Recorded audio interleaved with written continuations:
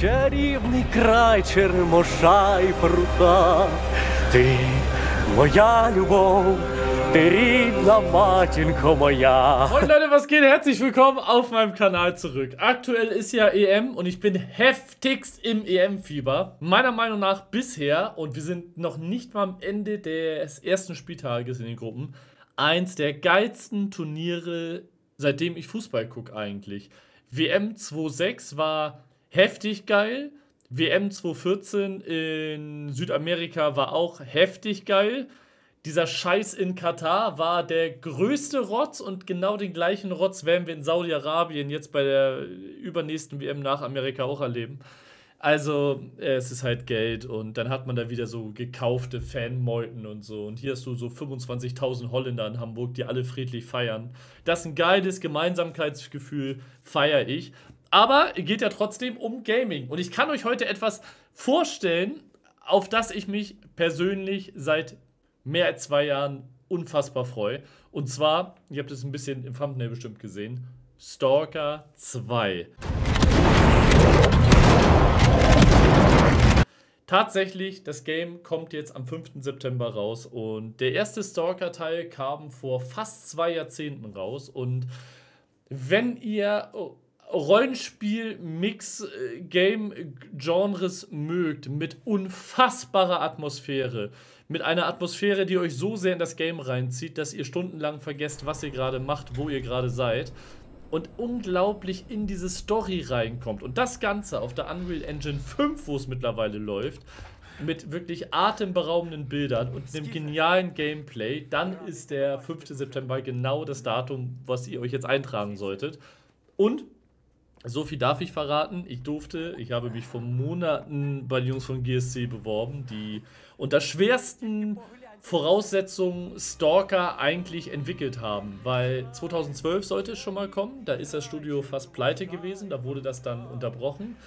Dann haben sie große Schritte später mit neuen Investoren gemacht und es gibt sehr viele Fans, die Stalker damals so wie ich absolut gefeiert haben. Ähm, das Problem ist, der Ukraine-Krieg ist dann losgegangen und die Jungs und Mädels sitzen und saßen in der Ukraine. Sie mussten also zwischendurch mit der gesamten Entwicklung raus aus der Ukraine, sind dann Richtung Polen, haben in Polen weiter dran äh, gearbeitet, sind dann wieder zurück in die Ukraine. Dann gab es Anfang 2023 einen ersten Playtest für einige, da war ich nicht dabei.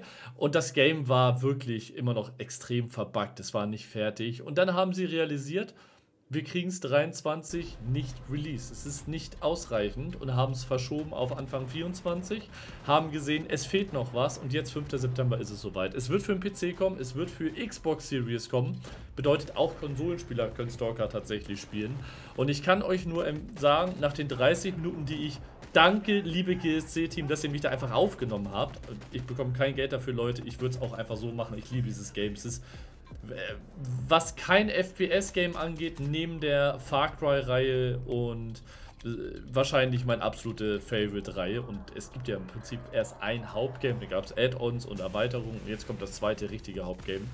Ich konnte 30 Minuten tatsächlich Stalker 2 spielen und ich kann euch sagen, ich hatte zwei Bugs insgesamt. Ein Monster hatte keinen Kopf und mein Mauszeiger ist verschwunden einfach mit dem hohen HUD und sonst ging das. Und ansonsten lief es absolut reibungslos. Mein PC hat es top geschafft. Ich habe die Voraussetzungen bekommen. Selbst mit nicht so High-End-PCs werdet ihr das Game, glaube ich, spielen können. Ansonsten immer noch die Möglichkeit, auf die Xbox-Konsole zu wandern.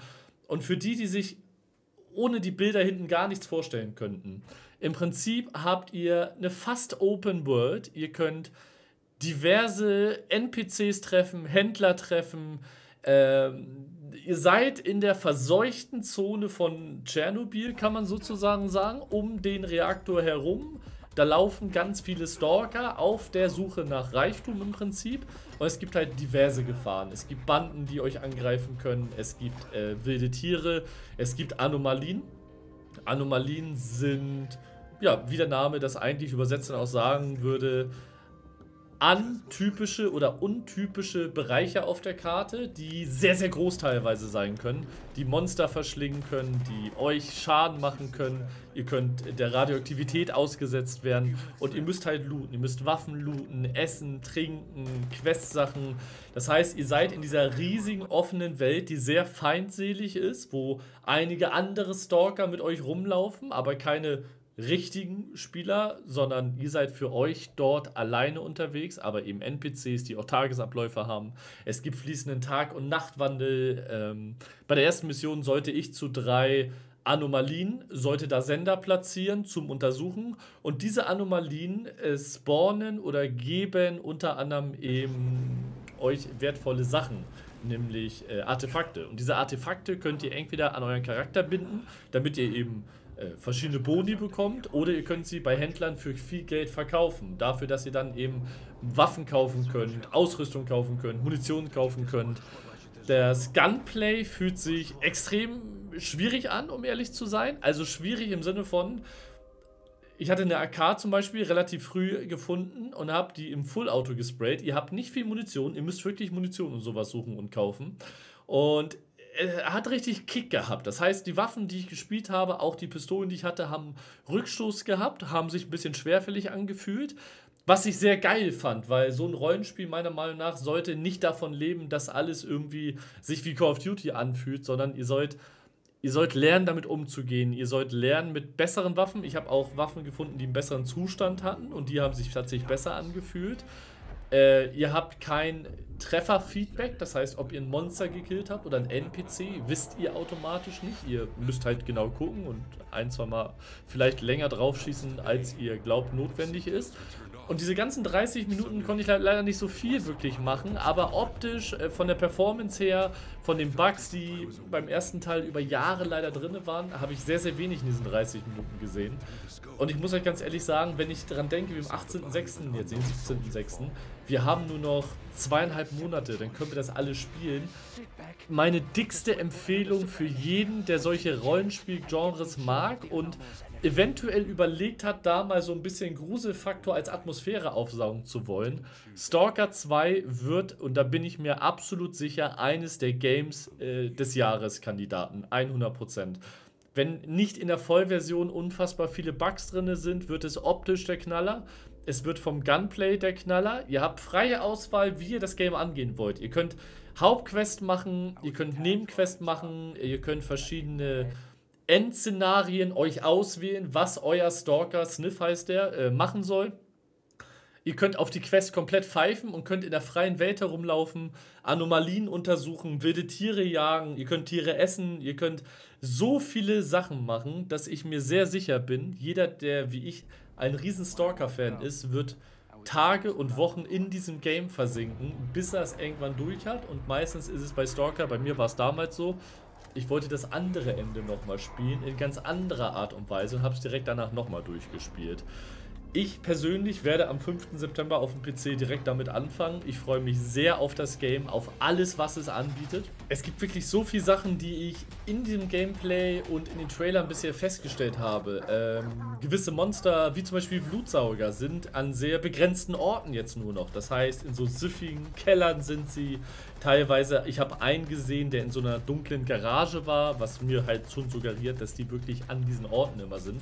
Euer damals in Stalker 1 hattet ihr so ein Personal Display Handy sozusagen, so ein PDA. Den habt ihr jetzt auch, wo ihr euch ähm, für die, die es nicht ganz so schwer mögen, eintragen könnt, wo euer, euer Ziel ist auf dem Kompass und der leuchtet euch dann auf. Das heißt, ihr wisst, wo ihr ungefähr lang müsst.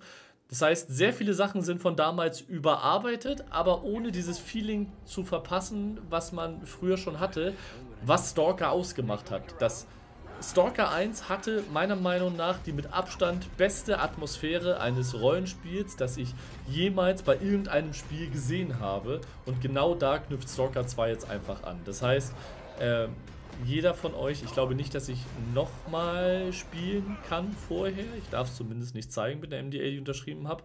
Jeder, der Bock auf so ein Game hat, von mir die absolut herrlichste, dickste Empfehlung. Und schreibt mal in die Kommentare, wenn ihr damals Stalker 1 gespielt habt, so wie ich, Ist kein FPS-Game wie Call of Duty oder X-Defiant, ist ein ganz anderes Genre, aber von Entwicklern, die mit viel Motivation da dran waren, die unter schwersten Umständen über Jahre hinweg etwas hier zusammengezimmert haben, worauf ich mich persönlich sehr freue. Und ich werde im September am 5. Urlaub nehmen für eine Woche. Ich will in dieses Game komplett rein. Ich will es austesten, ausnutzen, alles.